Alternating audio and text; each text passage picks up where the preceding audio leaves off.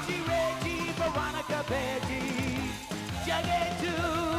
Where? Archie's weird mysteries. Invisible Archie! It made monsters out of harmless creatures. Too bad Archie was next. But it didn't stop there. Can Dilton bring them back before it's too late? Invisible Archie! Reggie and Archie turn invisible. I feel that's all I really need to say. So after both Reggie and Archie become jealous of what appears to be the son of Barbados Slim from Futurama, because he's taking Betty and Veronica's attention, though give it a week and both girls will be falling over Archie all over again for some reason. Though make note that this is the third African American character who just suddenly appears in an episode with no previous time on screen, and will just disappear once the episode is done, just like in the car episode. Wanting to match up to our new character of the week, both Reggie and Archie try to steal a growth serum made by Dilton to help them, which ends up just splashing on them during the scuffle. And now, let us have a moment of silence, for it is the last time on this list that Dilton will be the cause of an issue in this show. The two split up as Archie finds himself disappearing entirely, though why when only his clothes got splashed and not all over him. And it's the same with Reggie, being made even stupider when the episode shows his backpack turning invisible with him, despite the fact he wasn't wearing it when he got splashed. Because who cares about having any sort of rules for the episode to follow? Let's just make everything invisible the school, the characters, any sort of interesting plot. Whilst Archie seeks a way to find Dilton and a way to change back, the Reggie has still not noticed that he's invisible, something that anyone would notice immediately.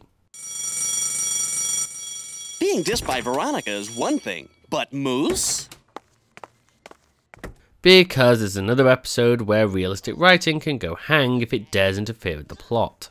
Archie finds Dilton, who warns them if they don't change back, the change will be permanent and they will eventually disappear from the universe entirely. To which I call bullshit. But things like this are the reasons that many of these episodes are as low down on the list as they are.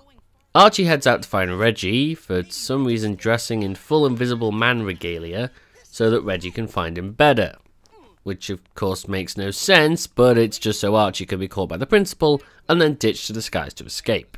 Reggie, on the other hand, has been messing with the guy from earlier, because he's a jealous douche nozzle. Which may be worse than being the bag, but I'm not entirely sure.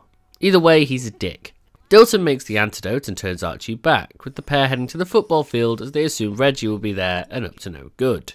Which is 100% correct. Reggie is still messing with the guy whose name I think is only mentioned once in this entire episode. Whilst Archie puts the antidote into the sprinkler system and uses it to shower Reggie. With Reggie now visible and not noticing, he continues to be a dick, and is then soundly beaten for it. Mantle! Ending the episode. I don't think this needs much explaining for why this episode is here, does it? The overly generic plot of teens turned invisible, the waste of time that is Archie dressing entirely so he can be seen amounting to nothing, the same old new character introduced to just be another plot point, the questionable way the invisibility came about, and once again a character being oblivious to something that no normal person in their life would be. So just like the plot of this, I wish the episode could just disappear, but I'll settle for it being at number 5.